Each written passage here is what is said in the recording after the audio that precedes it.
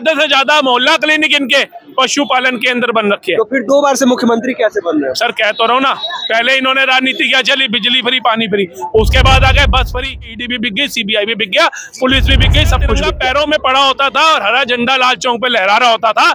आज हमारा हरा झंडा पैरों में है और तिरंगा लहरा रहा है रोज़गार को क्या मानते हैं कि गवर्नमेंट जॉब लग जाए तो मेरा रोज़गार हो गया? अपने काम को आप रोज़गार नहीं मानते। विश्वविद्यालय सब बनाने के लिए पाँच एकड़ दी है सुप्रीम कोर्ट ने अभी मस्जिद बनी नहीं मंदिर बन के तैयार है वहाँ कोई बोल अपने बोल दे कि उसको रोक करके वहाँ बना दिया जाए। आज जिस आदमी के पास में टू व्हीलर होता था आज वो फोर व्हीलर खरीद रहा है। सरकार क्यों बोलते वो तो सर्वोच्च न्यायालय ने दिया। हम क्यों बोले? लेकिन सरकार का संघर्ष रहा। ये किस बात पे? विकास के काम पे या किस किस किस बेस पे होगा चार सौ? ये ये 400 400 पार इसलिए होगा कि देखिए जिन लोगों को विकास की विकास दिखा जिन लोगों को उज्ज्वला योजना से गैस के सिलेंडर मिले जिन लोगों को आवास योजना से घर मिले उन लोगों का वोट मोदी जी को जाएगा। ठीक है? राम मंदिर दूसरा मुद्दा राम मंदिर। राम मंदिर का पूरा जो मोदी जी ने राम मंदिर को गहराई से बीजेपी ने गहराई से राम मंदिर का मुद्दा उठाया। और मतलब बीजेपी के अ, मतलब एजेंडे में उसमें था कि आ, हम राम मंदिर का मुद्दा हल करेंगे। वो हल करा। 300 धारा 370 हट गई। तीन तलाक का मुद्दा हट गया। यूसीसी आने वाला है। एक समानता का अधिकार सबको होगा। तो देखिए ये सारे मुद्दे जो है ना मोदी जी को 400 पार ले जाने वाले हैं। और राष्ट्रवाद। देश हमारा सबसे पहले है। लेकिन अगर रोज़गार की बात करें तो ये मोदी जी बोलते थे कि दो लाख रोज़गार देंगे यहाँ वैकेंसी आएँगी। सबसे कम वैकेंसी की बात करें तो इसी सरकार में आई है और बेरोजगारी भी बढ़ी है। देखिए ये आप सब ये ख्याली पुलाव हैं। आज की डेट पे बीस करोड़ लोग जो है गरीबी रेखा से ऊपर उठ गए। ठीक है ना? गरीबी रेखा से ऊपर उठ गए। आज जिस आदमी के पास में टू व्हीलर होता था आज वो फोर व्हीलर खरीद रहा है। तो ये विकास हुआ उसका कि विकास नहीं विकास तो हुआ लेकिन अगर रोज़गार की हम बात कर रहे हैं आज भी रोज़गार वैकेंसियाँ नहीं आ रही आपको ही पता होगा बच्चे बाहर आके पढ़ रहे हैं तैयारी कर रहे हैं वैकेंसियाँ नहीं आ रही। देखिए आप रोज़गार को क्या मानते हैं कि गवर्नमेंट जॉब लग जाए तो मेरा रोज़गार हो गया? अपने काम को आप रोज़गार नहीं मानते। आज की डेट पे देखिए फूल माला बेचने वाले राम मंदिर का उद्घाटन हो गया दस रुपए की फोटोग्राफर एक दस रुपए की फ़ोटो खींचता था आज चालीस पचास रुपए की फ़ोटो खींच रहा है वो। ठीक है माला दस रुपए की वो पचास रुपए की माला बिक रही है। तो कहने का मतलब विकास हुआ है ना? आज होटल ले लीजिए वहाँ के।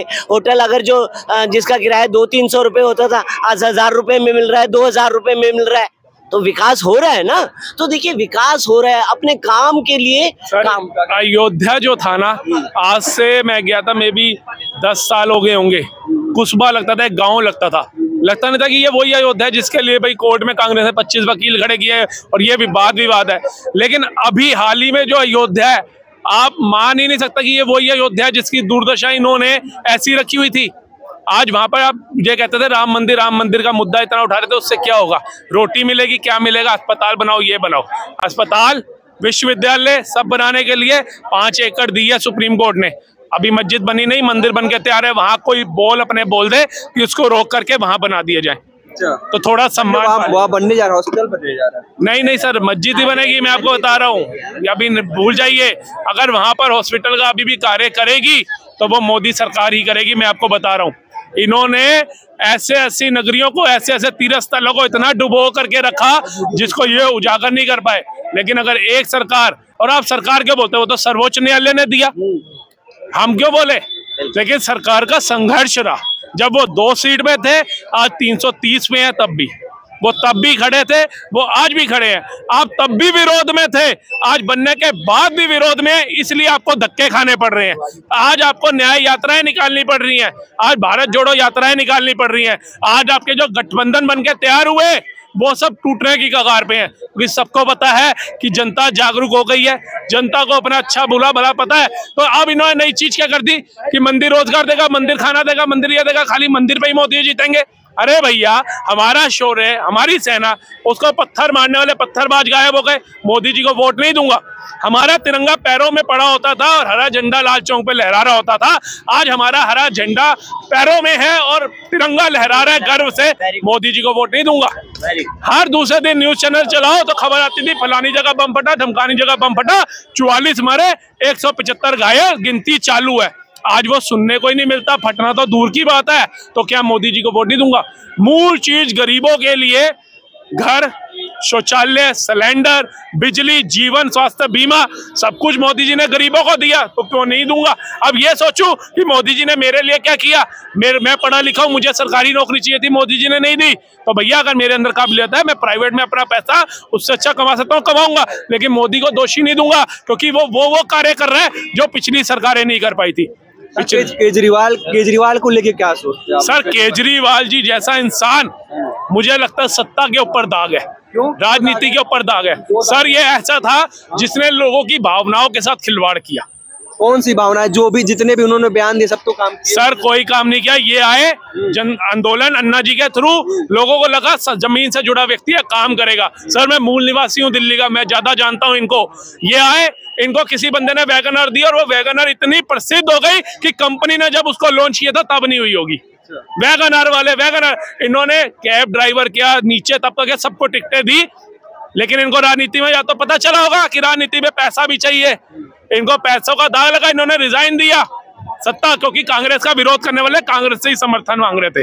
मतलब पहले ये ठीक थे बाद में राजनीति में सर आता ही ना जैसे ही चुनाव जीते इन्होंने कहा था शीला दीक्षित को जेल पहुंचाऊँगा जन लोकपाल लाऊँगा और शीला दीक्षित से ही गठबंधन की बातचीत करने लग गए। जब दाल नहीं गली इन्होंने अपना त्याग पत्र दिया और धरने पे बैठ गए।